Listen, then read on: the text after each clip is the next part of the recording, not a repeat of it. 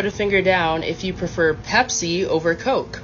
For those of you who think Pepsi is better than Coke, we we're not friends. Just this you just unfollow me right now. Pepsi's the absolute worst.